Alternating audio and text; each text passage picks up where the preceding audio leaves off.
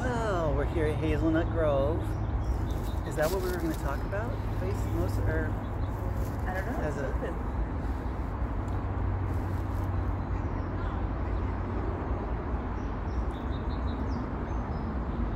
yeah, the thing about Hazelnut Grove, the outlook for our community here has been looking better and better over over the course of this year so far. Um, but it still seems to be an issue in some ways, so it seems maybe worth saying some things about. And the one thing I thought of that might be worth mentioning is that, you know, we don't, thankfully, we don't yet bottle up all the breathable air and sell it so that you have to buy, you have to pay to breathe. Oh, I get Nestle Air. I choose to get Nestle Air. if it runs out, you know, I'm sure they'll keep a good price. Sorry. Yeah, Nestle would be the first on that when that happens. but yeah, but we do kind of do that with land, don't we? Um, even though having a place to be, a place to rest, a place to live is almost as necessary a part of human life as breathing air. So that's just a basic aspect of how our society, pretty much all societies on the planet right now, operate. And yet it's not talked about that much. The fact that we treat land like that as a commodity and that you know access to it is tightly controlled. So Hazelnut Grove is flying in the front of that because there was a need for people to have land in order to have their human rights, their inalienable human rights that we recognize in the United States or attest to anyway. Um, despite the fact that there was no land ownership by the people, and we're building, uh, well, at least starting with tents, and then building structures and the city found that that was correct to put a fence and give porta potties and garbage collection and storage container.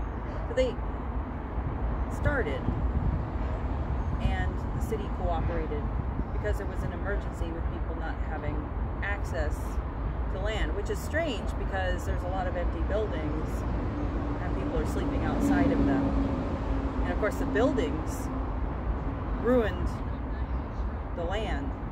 So we we ruin nature to put up buildings, but then the rent is too high in a controlling way, in a sort of stock exchange kind of way for people to afford.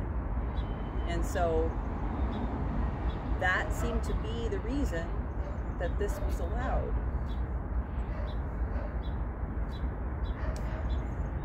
Which is beautiful. Because your your human rights should be more important than land rights. Land rights is really a Western concept that we're we're finding some failings for.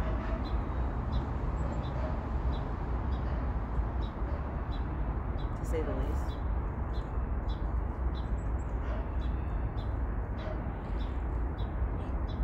Have you uh, talked about uh, your journey with Hazelnut Grove? And because I'm an outsider, I'm a non-resident. Is that part of your presentation? No, I mean I don't. I could. I could, but um, I think that's a, a key part of it is your experience in it. like how you found it and know who was here when you got here and like how you knew them. Well, you know, That. that brings up something, a thought that maybe is not, not some, maybe, probably someone will want to edit out because uh, it's just uh, one of those phrases that has gotten too bad a rap. Okay. that Has it already been no, I'm said? trying to uh, reframe and reclaim this phrase. It's so tarnished that it's not gonna it's not gonna fly, and we probably better edit this out. But just for our own personal uh, edification. Okay. And there was a good spot I think where we could Okay. end that. But our personal, my, what I'm thinking of when I, I was thinking of this a lot when I first got here, and there was the opportunity to participate in things that were going on, and I was thinking a lot about how work is structured, eh, you know, in society at large, and and how there's opportunity for more voluntary type of organization of work around places like this, and uh, it it really seemed true that work will set you free. That's reason to participate. It's it's it's not a big burden. It doesn't have to be a big burden, like we tend to assume it is, because you have to do it to have shelter or this or that. Um, no, it's a it's it's actually joyful and freeing and uh, edifying Okay. when it's organized in a actually free way. The original context of that phrase is, of course, totally Orwellian.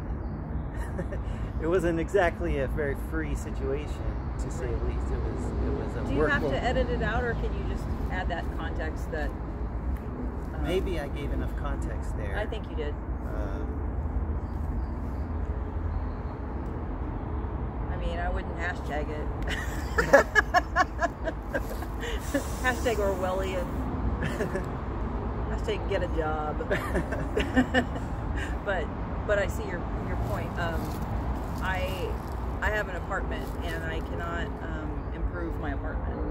I have to be very mindful Hmm. not to make holes in the walls. I can't paint it. Um, there's only so much I can do with my deck, and the communal area doesn't really feel communal. I can't just start a garden in it.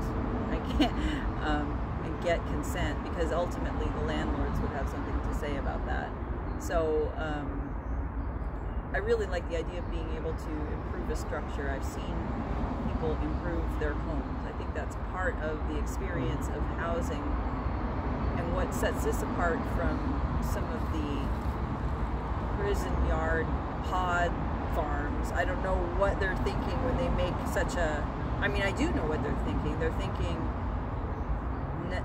Uh, well, we could talk about that. Um, when when there's an attempt to reproduce what's going on here, you don't see these natural, you know, sweat equity works. You know, you, you see these um, prefab, identical structures with no hominess because the, the point is don't get too comfortable. This is transitional. Um, and I think people have well enough of that in society. We don't need to reproduce that when we're helping others. Like providing space to live doesn't have to have the content messaging uh, that that you come across in these identical podscapes. So th- this is not homogenous. It's very natural, um, and yeah, beautiful. Did you work on your? Uh, have you worked on your your unit, your house? um, not really. That was pretty much as it was. Do you know who built it? Um, I feel like Tivnu may have really been mostly responsible for it. I mean, I heard sure that the solar unit was done by some. Maybe the solar unit was done by someone else because there. I, I remember hearing there were middle school kids who, who Hmm. actually built it. Cool. And the floor is from the the bowling alley that used to be over there by New Seasons. Mhm. But uh, It's I, think, I think Tivnu, Jewish Gap Year organization, which has done a lot around here over the years. Beautiful. Yeah, I was I was looking at one of uh, one of the places that was a shed or is a shed. It was one of the first, and to my knowledge, a friend of mine constructed this, and then uh, I've seen people make improvements. I've seen um, see Bob working on his solar or his. Uh, Yeah, Project. solar charging station. Yeah, and uh, yeah, so there's just I mean it's it's it's evolving. It's, it's a living community of land and people, neighbors, uh, structures, you know, ideas, improvements, gardens. It's it's uh, the only place I really know of where neighbors can just do that. I, I can't think of anything else like that. And it's deeply missing. I read I read about that, about you know, um, so it's very special.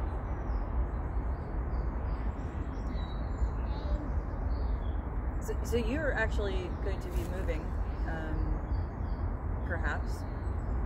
Looks like, and you're going to be part of a new neighborhood with new supporters. So new new opportunities for building a movement and for people to meet and and um, educating others. I would like to hear about that, like what you know about that neighborhood or the neighbors that have been advocating for where you're going. Well, I know there's very there's been a very very supportive group that has gone by the name of St. John's Welcomes the Village, and uh, I, I, went to some of the first few meetings of theirs back a couple years ago, and uh, whatever they have, been doing seems to be working. Uh, places, you know, for the most part. it's- every- uh, St. John seems to be welcoming the village. Yeah, it does. it does. So the movement is growing. So even though, um, even though there was a threat of eviction here, and the idea was to transfer everyone, um, the question came up. Well, St. John's has people who could use a place to stay. So why are we why are we taking why are we deconstructing one place to build something entirely different in another location? Yeah. Is a displacement. Yeah, and another point that seems worth remembering is if we, if, for people who might think of that village as like a solution to this village as somehow way better and more acceptable because of various objections that neighbors have raised to this place well remember that there was also hu- huge uh, or somewhat huge significant pushback and objection to the st john's village too both previous proposed location and definitely the current proposed location when it was first coming into uh, you know into being the plans. There was there was there was a, another whole group formed to oppose it there was a lawyer who made a formal threat to file a lawsuit and all this stuff next door people sure um, I, I've I've opted out of next door. I don't need that kind of energy.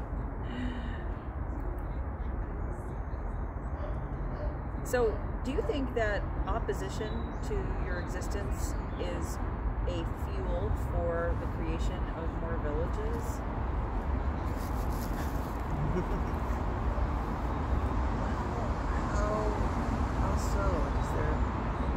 It feels like a Medusa head that whenever they try to come against Hazelnut Grove, people come with their alternatives to it and build villages, and then Hazelnut Grove remains like an heirloom seed.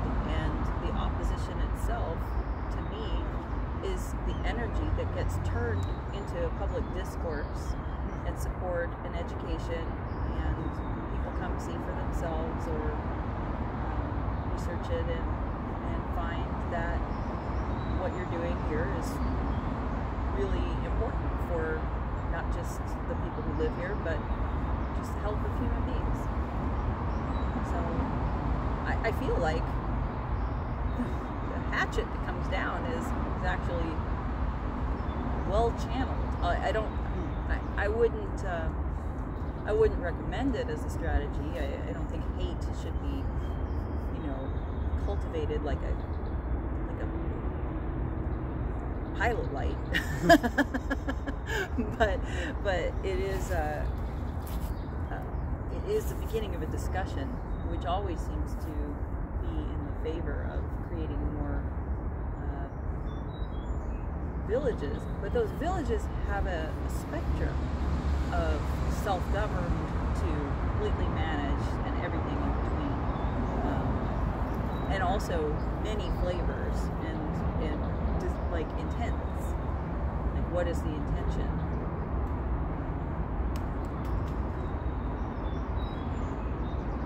So I, I, I was just wondering if you uh, if you are ever glad for the fact that sometimes this opposition is perhaps in itself creating more housing. Well,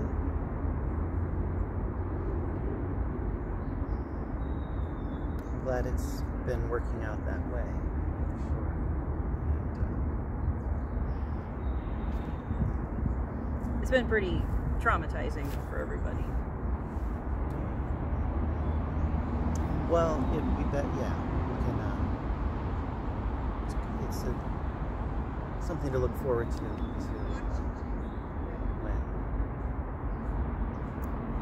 uh, barriers to housing, barriers to self determination, and uh, the kinds of freedom that we have here uh, no longer exist. What kind of freedom? What does freedom look like compared to elsewhere? That, that's. I mean, I have my own ideas about what I see as far as freedom. Um, but I don't live here, so I don't know if it's true or just what I see because of my internal filters.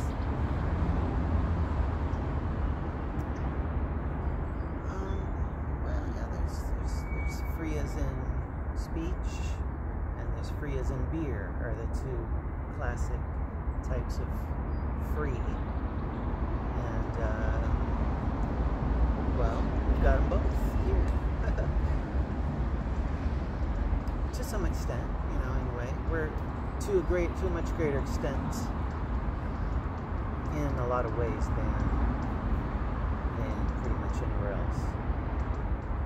Okay, so that's very thought provoking. I don't know what it means yet. Free as in beer means, you know, you don't have to pay for your beer, and you don't have to pay to have a place to live and sleep and store your things when you go. And so that's very important because, well, people don't have money. and uh, it's nice to have a place to live. Now I'm not I'm not getting a fraternity vibe around here. I don't when you say free beer, I don't I don't really uh, No, no, no, no. Yeah, I don't take it too literally. Just Okay. free as in beer, as in when you, s- you know. Because I mean, a friend of mine wanted to use a band name called Free Beer because he knew that, that it would always pack the house. Uh, Just to have that on the, you know, I mean that that's a that's a dream of many. I'm not downplaying that, but you're talking about just the sense that you can have things. You're Yeah. not you're not uh, without because people have donuts, people have uh, whatever community provision. mainly just space, right? I mean, base. There's more than more to it than that. Space and a structure. The uh, that free as in speech and free as in beer distinction comes from largely from the open source, free and open source software. Okay. Because some software is free, as in beer, and you don't have to pay for it. Some software is more free, as in speech, as in you can it's open source and you can see the code and uh, modify the code. Right, right. Okay, so I support some open source. Uh, they they're managed by um, communities, uh, and um, I've I've been very fond of Wikipedia. I used it in college. We had uh, people who didn't know how to discern between good and, and poor, I should say work in progress, because those things do tend to get resolved not, you know, not really good. But as far as open source, there was like a, um, a community element to maintaining some integrity, um, not just everybody coming in and writing whatever they wanted. They, they, they had sort of a evolving set of ideals and adding people didn't take away from those ideals because the people were attracted to what it already was so it sort of kind of uh, there was some hard work going into the thought just like at hazelnut grove there's also some organic evolving uh, nature uh, to Wikipedia. It seems like, um, and and it is the users. So you are, as a resident, a creator, along with many people here now and people who came before, people who are outside, but friends. Um, you're one of the creators of what it looks like now to be Hazelnut Grove. So your participation is, is part of that. But it was already something that attracted you to come. And it seems to be a shared dream of just about everybody. Maybe not exactly this particular space, but I- don't think if, somebody said um, you could have a house right now on a piece of property that you share with other people, you try to get along with them and, and try to keep some norms so that you're good neighbors. Uh, but other than that, you're pretty much free. I, I think that would just call so many people. They they want to know what the catch was. Maybe that you have to use a porta potty. that might be a deal breaker for some. But you know, it's always rough to have to leave your house. But um, but that that is a. Uh, I think people say, "Well, would I get to garden?" you know, lights would come onto, you know, into their eyes, like the, the concept. Would I be able to paint my house? How long would it take for a person to to relax into the freedom that you have before they before they're waiting for the other shoe to drop? Because we've been so trained to not take up very much room in our life. So I know that I would I would like to do that. I would like to see many villages. I don't want them to have to be associated with quote houselessness. I, I would I would like for anyone to be able to have shelter and space for peace of mind and community, and to improve the land, um, but also respect the land. You know. Um, so, what can you imagine villages where there was no association with uh, houselessness? What would that look like? Well, I mean, uh, that's there's I, I've I've I've used the, the term underhoused too because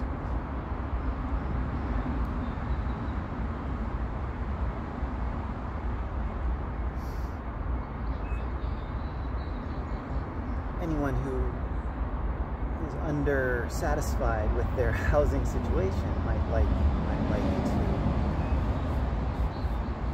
you know live in a tiny village and then maybe they're maybe they're situ- they're in a, some kind of housing situation and they, they that would be freeing up that space for somebody else. But yeah I haven't thought much about that I guess. Um, there's so much housing empty housing already and um, empty space and buildings that that's that's that's one thing I think a lot about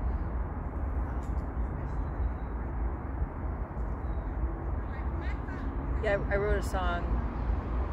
Uh, let's see. Uh, the streets are full of people. On land sits empty buildings.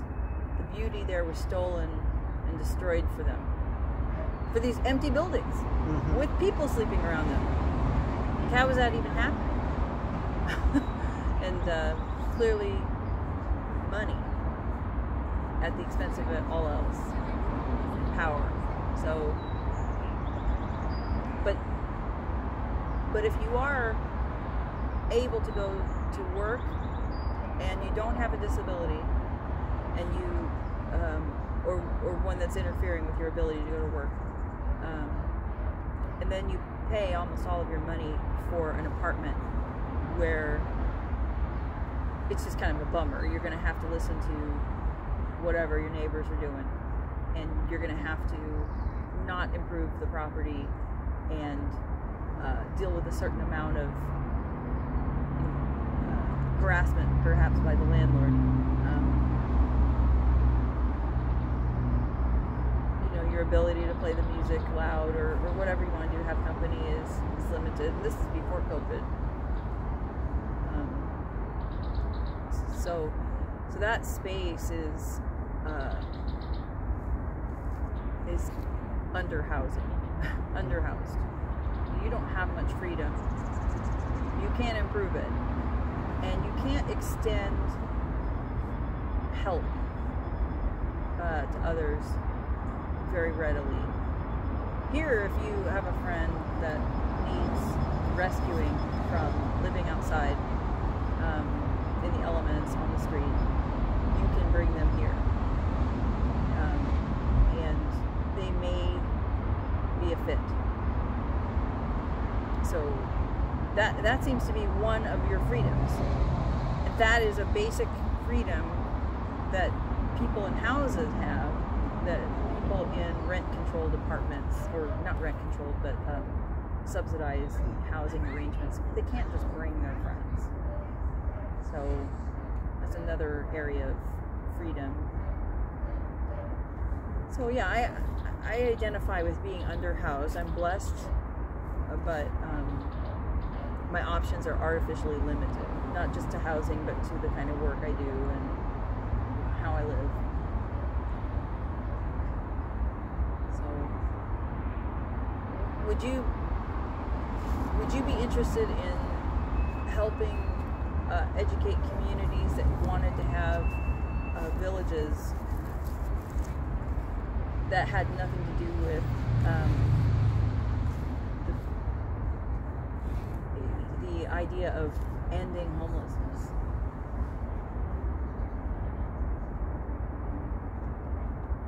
Like a neighborhood that had no homelessness. They just wanted a village because people enjoyed it and they wanted to ask you, how do we do this? Maybe they have underhousedness. sure. That was my situation too. I wasn't without shelter, but I was underhoused before I came out. But most people were actually unhoused. What about combining people's experience where you have people who have who are underhoused, but maybe people who are are just changing their life and they have they have money, um, but they are downsizing, or they've had a dream of having a, a garden and they want to get rid of their condo. Are you would you find it weird to be in community where there was a diverse amount of um, resources amongst the people. Mixed as far as former housing status. That'd be great. And then where former housing could uh, house others. Okay. What would happen if it was free? I, I feel like if you just had free housing and it wasn't it was modest like like it is here. But just free housing. Like communities found a way to do that. They were enjoying that, that dream. People moved in who had power and money and and they still checked their privilege as far as you know the idea that one dollar one vote that, that was not that's not what they have. They have one person one vote. Um, one, not even vote, one person, one voice, voice in a community. Um, if we just had that, would that directly impact the empty buildings with the, the I, I should say, the overpriced apartments that they build?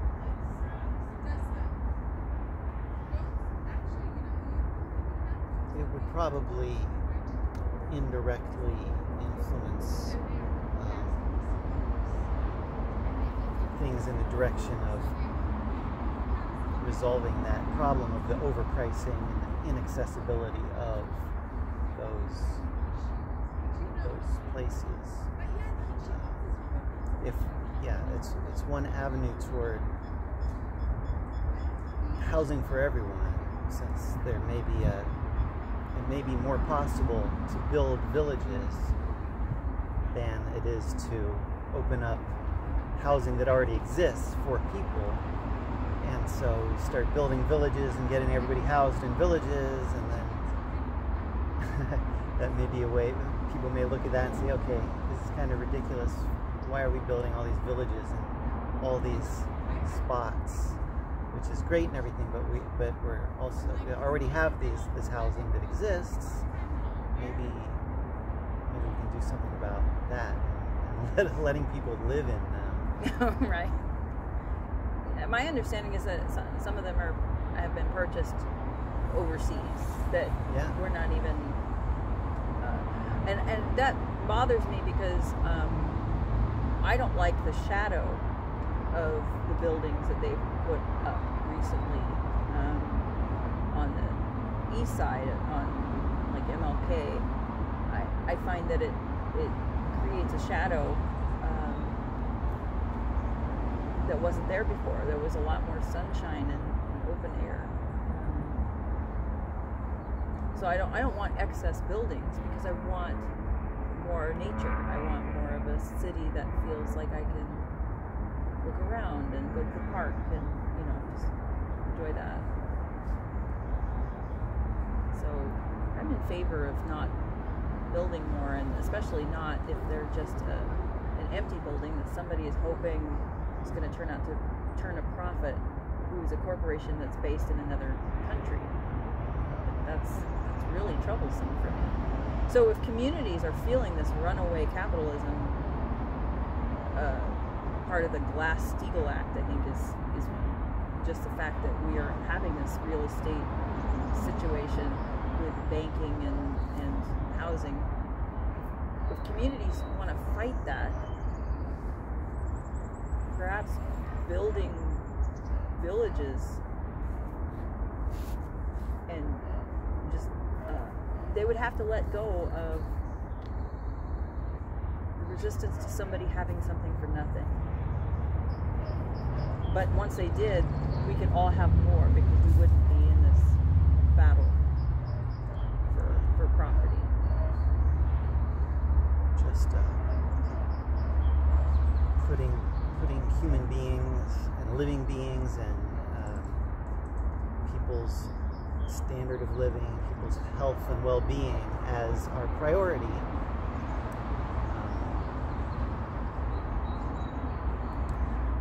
I think would, would simplify and improve so many things, and, and we could, go from there and have that as our one of the main driving principles, And then there would be a lot of different ways to organize that, and different uh, different things that could look like.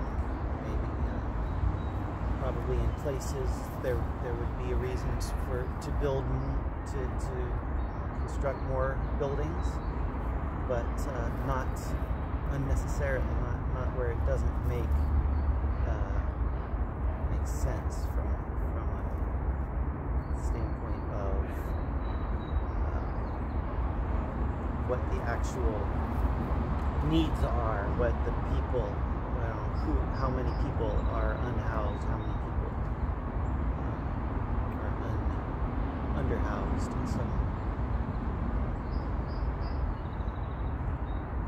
What do you what do you think when somebody's upset because uh, I mean the, the example I think of is college debt. You don't want to wipe away some people don't want to wipe away college debt because if they had known that this was going to happen, they would have sent their kid to college or they would have gone to college. If it was just going to be wiped out, because the people who decided to go to college agreed to pay, they owe money, and and then it's just wiped. So there's no harm uh, except the idea of your general taxes um, being used to give something to some people in a way that wasn't really planned. Nobody. Um, nobody collectively agreed that these debts would be wiped in the future. Just like nobody has collectively agreed that paying into Social Security all your life could just be robbed, destroyed. Well, when people are in high school and they uh, take on all these debts paying them off for decades, that's one of many ways that you are trapped. And it's not that that trap is more worthy of, of freeing people from it than any other trap. It's just that there seem to be certain mechanisms that are available to free people from that particular trap. So, um, you know, other people who are in other traps may may may may feel some kind of way about that, but and the, and well, the the focus should be on freeing everybody from the traps, and maybe it'll be one by one, but uh, but that should it, it's not a zero sum game. Right. Okay. So lib- liberating people is a goal that doesn't have to end with um, liberating them from college debt or liberating them from an impossible rent structure um, for for profit. Uh, or the the punitive experience of having a bad landlord. you you could actually have. Um, I- think people get into these intentional community ideas and pallet homes and and uh, running things on solar power um, because of the passion of how they want to live, which is it, it has nothing to do with our access right now unless you're very well off or have connection, it's very hard to get just a little bit of land and a little house that you can improve upon and have guests and have freedom. So, um, so communities could claim this idea of the village movement as something that they want to do in order for a general sense of liberation to be added, but also to possibly directly compete with overinflated rent, artificially inflated rent that doesn't have any basis on improvements, but only has to do with uh, rigging supply and demand. Um, so, yeah, I I am sorry that that people at Hazelnut Grove are going through the struggle that they are. Um, but I am impressed that it stands the test that when you add a spotlight and people investigate, it grows the village movement. It's just been a little slow to actually ask the residents how they do it or what the key elements are or even the, the neighbors to equitably ask the neighbors. It seems like the squeaky wheel and the power structure of these neighborhood associations are really speaking beyond, you know, democracy. They're just getting a bullhorn and they're wielding their power. Um, but but when people hear that, like the example of when you were flyered against. Do you remember that? I mean, I don't. I don't want to get into the negative if you don't want to talk about it. But um, do you remember that flyer and what it said and how it came about? That went to the neighbors. January. Yeah, I think so. Well, yeah, that was that was earlier uh, earlier phase of the process. It's kind of originated in, in City Hall. At a previous stage of the evolution process. So you you you've probably changed the attitudes and the hearts, at least in part, since that flyer was sent out, which was fairly recent. Friends of the Grove were coming up with another flyer to, to distribute. I, I'm not totally sure if that ever went out. Yes, It did, yeah. it did. Uh, It probably didn't have the mass distribution because it wasn't um, funded by the city.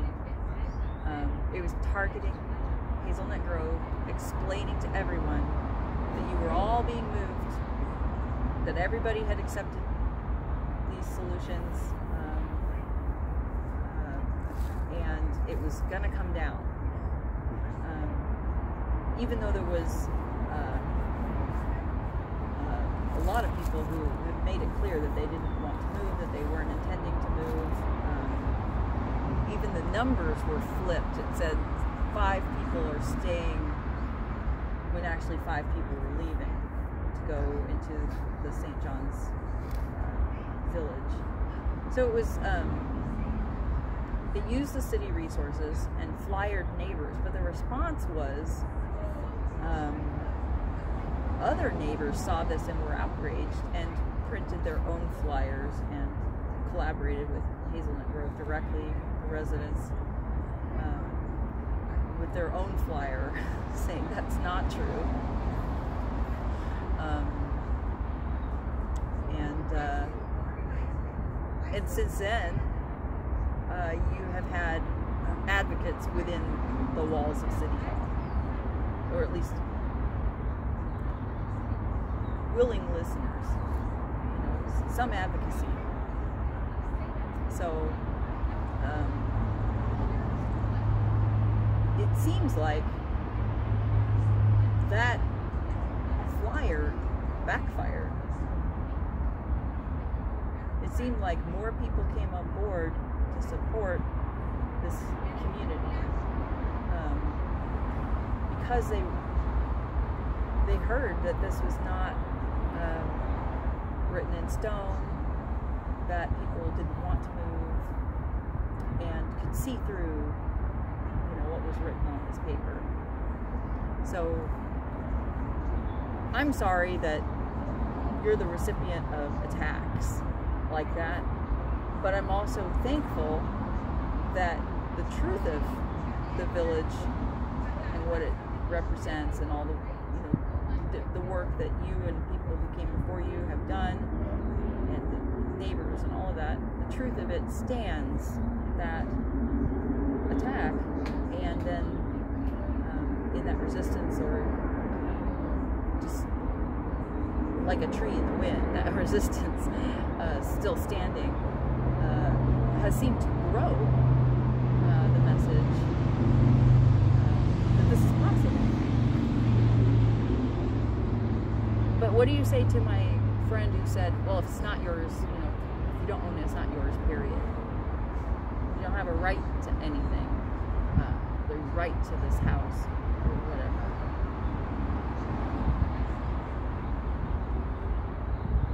If you care to comment on that kind of negativity, you don't have to. Oh.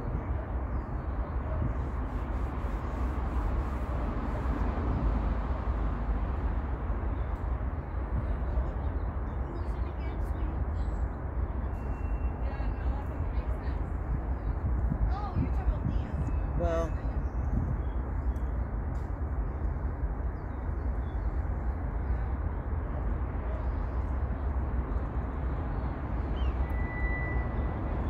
yeah, I would have to talk to this person and see what they mean by that. it's hard to uh, hard to uh, talk about a hypothetical Yeah. an argument coming from someone who's not here Well, when it's that when it's that kind of thing.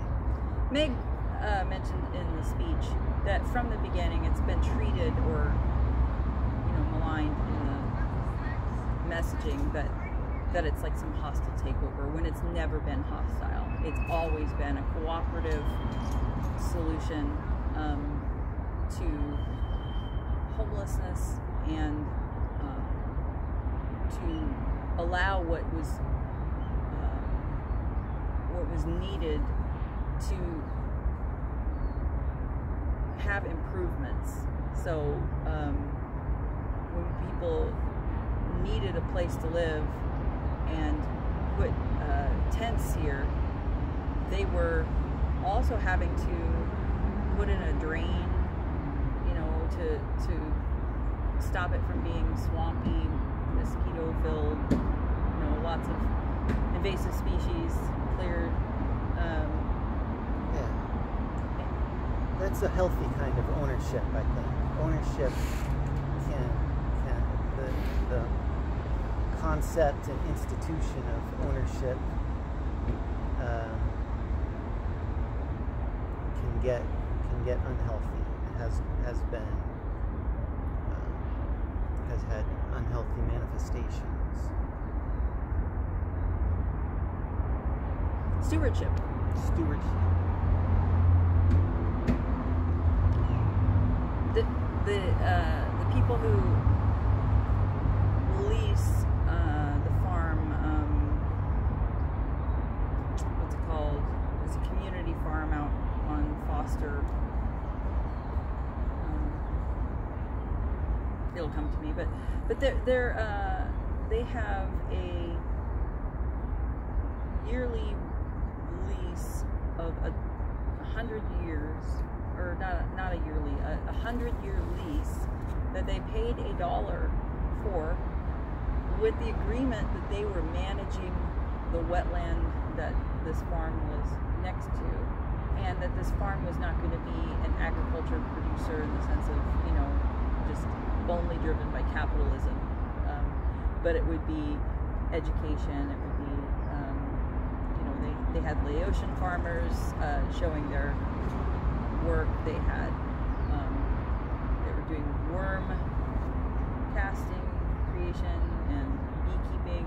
Um, so there, was just a lot of uh, permaculture kind of stuff. I don't know what you call that, but it wasn't permaculture, it's another word, but just sustainable farming practices that they were educating about. So they'd bring in classrooms of you know kids to see uh, Zenger, Zenger Farm. Um, but they improve the land, they're stewards of it, and they have this agreement, a hundred year lease, um, to, to do that. So that could be an option for people who wanted to bring in something like Hazelnut Grove as, as an as an option that would maybe have something to say to my friend who was like, well, if you don't own it, it's not yours. You can't just claim stuff, you know, and start building houses on public land and so forth. Of course, how did how did uh, ownership get started? Right. So decolonize is another answer to that. His his family, if he has land, were you know if you go back a little bit. Someone who came from someone who came from someone who wha- who found some kind of resource and became, a steward of it. while possibly killing people Yes. to do it. So there's a there's a conqueror in our past of whoever has ownership of this land. There's always a conqueror for almost all of the land. That um, so for my friend, maybe I would say you now owe the debt of the harm of your ancestors because you know that I'm going to assign responsibility for land to what was done. You know, all the harms that you have in your family passed on. The, maybe even the deed transfer is now We'd be, we'd be turning around this whole ownership and debts uh, model that, that he brought up, turning it back around on him. Um, you're liable for the death and the environmental destruction that is associated with the deed. Um, right. Or we could go with a whole new type of uh, model and metaphor and, and uh, forget about debt and you know, wipe the slate clean, jubilee, Jubilee. and and uh, like like we were saying, organize things on the basic principle of serving life improving standards of living and freedom. yeah. Hazelnut Grove and freedom would be our title. Right? Or something. Yes, I like that. I would, I would, I would uh, consent to that proposal. Yeah, and it's uh, you've already paid for many times over with the experiment um, that's ongoing that you have done, collaboration, community, you know, innovation, things, environmental stewardship. Um, the ability to bring people off of the street who need freedom. This is, I think, what what's missing is that there's a lot of people who can't go into the structures that the city sets up because they're they're refugees from that system already, and so you can bring people who have the difficulty with and harm done, maybe having experienced trauma from it and unfairness and you know uh, they can live here. So you have brought a solution for people that are not able to do any any of the systems that are created. Um, that if someone were to pay you for that, let's say recognize your contribution to Kenton Women's Village or recognize your contribution um, just like you recognize uh, Right to Dream too, Right to Survive, Right to you know Dignity Village. Um, if they were to recognize you for what you contributed to the village model and the ideas, uh, you have more than paid for what amounts to $100 per person a month. Um, every month. Because they are creating systems by using your ingenuity and experience that comes with hard work and living it um, without having to themselves go give up their house and go move into a village to, to find out how to do it. Like people are gaining from your experience every day and building these systems that that the city gets to write, you know, accomplishments, and they get to, you know, um, spend lots and lots and lots of taxpayer money on and create jobs in those things. And if you added up all of your experience that you've put, um, that has just been out there as open source, um, it is very much more than $100 per month per person, and always has been. So um, I, I, would suggest that you have a stewardship lease for a dollar, like Zenger Farm, maybe. a lot of people probably have Hazelnut Grove on their resumes right now, like I do. oh, very good. Like people who have, who have helped out over the years, I suppose. They could anyway. Yeah, I, I believe that. Um, I, I, was thinking of Hazelnut Grove alumni shirts. because I think uh, there is somewhat of a Berkeley feel in this moment that people are coming up with solutions that are desired and that there's sort of a think tank, a, um, you know, part of a movement that everybody here can be proud of and, and probably very marketable as far as future projects if if it doesn't get taken and twisted and you know what what Amanda pointed out uh, the impulse was it starts she had a quote for me it, it, it starts as a movement becomes a business and then becomes a racket.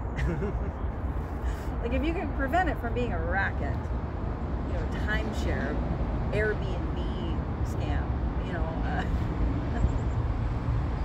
then you should be very marketable as um, you know a, a cultural uh, you know like like other movements like the people who the startups you know was another one that was compared to Berkeley like you're the new startup. You're the founders. founders.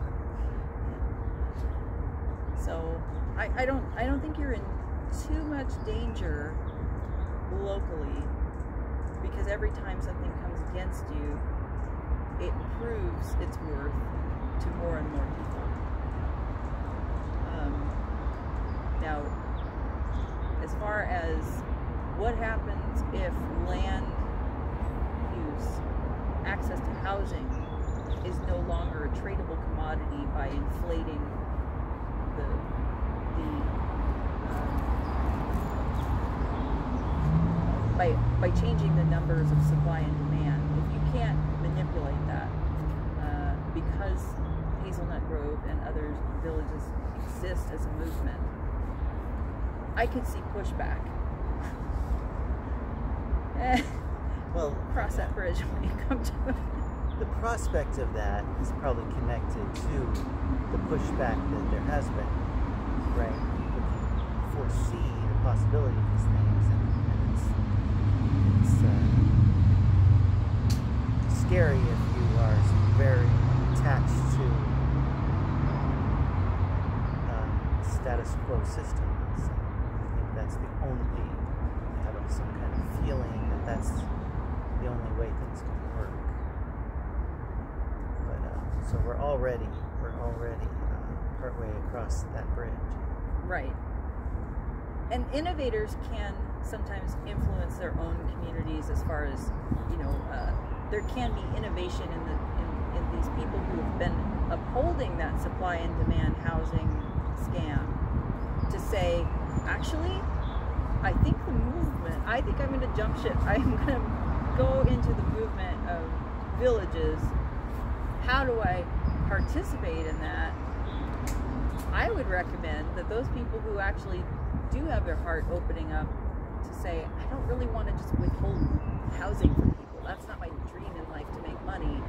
Um, that maybe those people should actually come talk to you and learn about it and give you credit. You know, uh, write your name as a reference. You know, all, all the all the things that you would do uh, to any movement where you saw there was a collaboration effort that you want to be part of. That they would actually get to know the people here. And in a way that started because in your defense, people have given their personal testimonies, you put on a petition, delivery where you were the um, presenter um, and also a um, aid presenter. so they can hear their voices. Um, and that was just the beginning. I could see a lot of presentations by Grove and, and, and allies and, and uh, village movement, um, as well as the anti-sweeps movement. Um, so yeah, there's a there's a there's a place for for people who have vision to say, you know, this is this is more my heart, also it is the next thing. This is where we're going. Everybody wants this. Everybody would recreate this, and it, it can be naturally experimented with. Uh, you- don't have to have uh, an elaborate set of rules to figure out how how to do what you're doing. How, how would you just, if you're going to tell somebody, let's say there was someone interested, I want to start a village movement in my city. Um, we we actually don't have a, so much of a problem with homelessness. We have more of a problem with underhoused feelings. Um, so we could build villages um, and uh, it wouldn't only just be to rescue. We could actually uh, create do both together, but it, it goes beyond just rescue.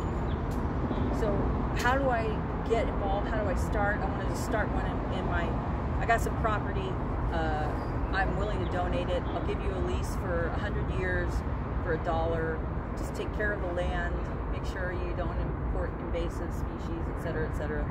Um, but how do I get this village going? What would you say? Sounds like uh, I mean it's it's pretty got a pretty good start already in this scenario. Um, start start talking to neighbors and gathering with neighbors, whatever whatever uh, ways might already exist of of connecting with neighbors. Um, whatever uh, whatever associations there are, meeting places.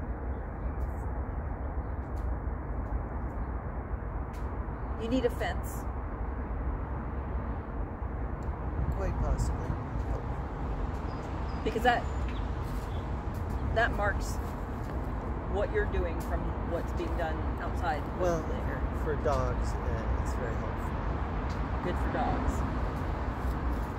which is a really important part of this community and a joy to have dogs running around, saying hi and also Yeah, guarding. It's a dog paradise. And hey, there could be a cat village too. Yeah, cat-centric village. Yeah. right? So you need a fence, probably, and you probably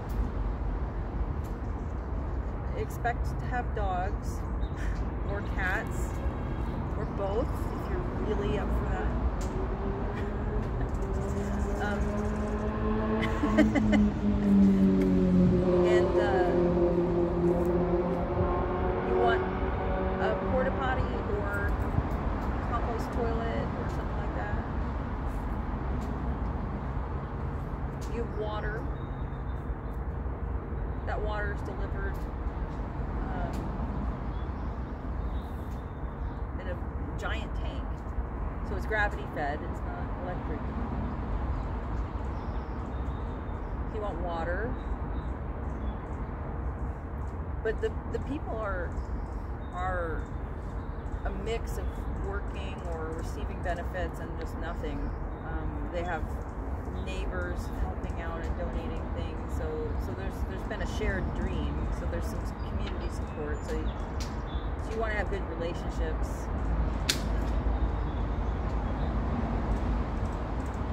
You have to have trash service or find a way to, deal with trash and recycling.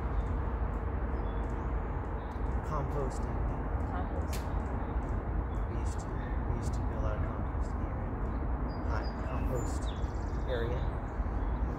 And you have used the GA, the General Assembly, uh, meeting every Saturday in order to um, make group decisions with consensus, and um, but also to have a social gathering. It's it's very um, seems to me like a community pillar. It could it could evolve. It could be a different structure, or but but the fact that you have a regularity of coming together um, and and discussing things really has a lot to do with your community, and that people are free to come and participate or not. Um, so- Saturday Circle is another yeah, iteration you're starting fresh, like you're talking about, a new place, I might suggest. Um, I might suggest something. I like that. That's a good ring. Saturday Circle. So, so, so you probably advise a person to have a weekly meeting, um, community meeting. Uh, you've also been involved in the general village movement. So this village would probably want to be involved with other villages. That's a kind of like a co-op is involved with other co-ops by its foundation. Um, which is another possibility of how a village could operate is as a co-op. But I guess my point is there isn't that much that that is something that you would have to tell a person. They could see it for themselves and by coming to your GA and walking around with you and you know having maybe some discussions over tea or something, um, they could really get it. It's a natural and you know, harmoniously simple plan. The the specifics of it are the stories of what has happened and what didn't work and you know you want to share you know those kinds of things with a stranger. I guess it depends on, on the person but you know you've you've learned how to do this in ways that are not necessarily quantifiable. It's lived. So but i think i think a person could actually start this in their community. You'd have to have a, a generous individual willing to give up their rights to land. But certainly people do have ways of starting up stewardship situations. So